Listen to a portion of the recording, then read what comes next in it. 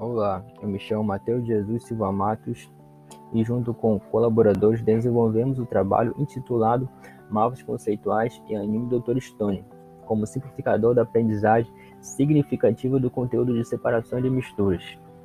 Dando início à exposição do trabalho, no Brasil, o ensino de Química é precário e enfrenta diversas dificuldades, principalmente quando se trata do ensino de Química nas escolas públicas. E para sanar esses empecilhos, se faz o uso de novas ferramentas. E a ferramenta escolhida nesse trabalho foi o anime Dr. Stone, pois apresenta em seu enredo aspectos não somente químicos, mas também científicos, junto ao mapeamento conceitual, que é uma ferramenta que estrutura e organiza ideias e conceitos.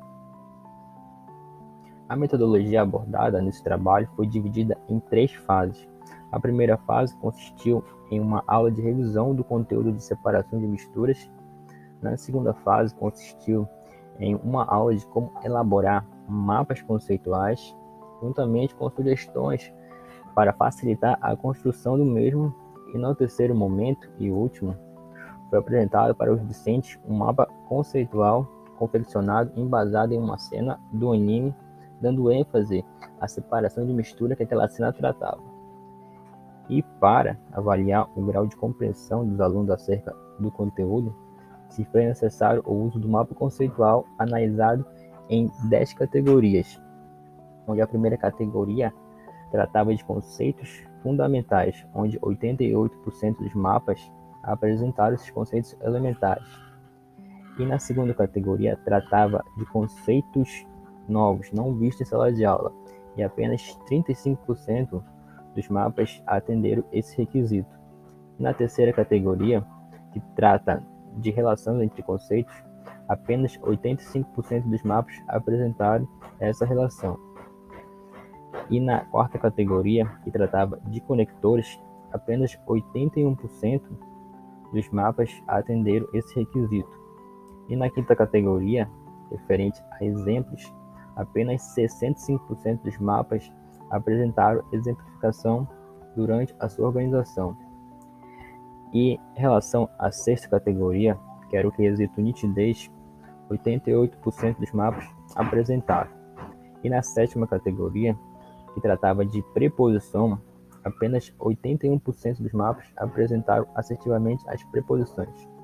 E quando se fala da oitava categoria, que era hierarquização, 100% dos mapas atenderam a esse requisito. E na nona categoria, que falava da diferenciação progressiva, 100% dos mapas atenderam a esse tópico. E em relação à reconciliação progressiva, tópico 10, 42% dos mapas apresentaram em sua estrutura. E para avaliar o grau de compreensão dos alunos acerca da metodologia aplicada, se fez uso de um questionário com quatro perguntas, onde na primeira, 100% dos alunos responderam que o anime ajudou na contextualização do assunto.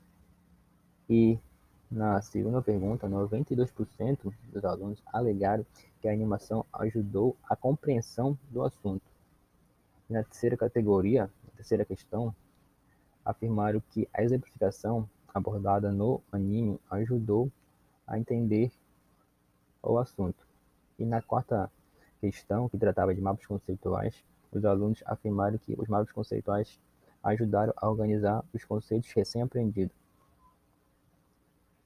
Portanto, ao utilizar a animação japonesa junto aos mapas conceituais, se promoveu a dinamicidade da aula juntamente com a aprendizagem dos conceitos e também instigou os discentes a pesquisar e sair da zona de conforto. Aqui há algumas informações acerca do apresentador.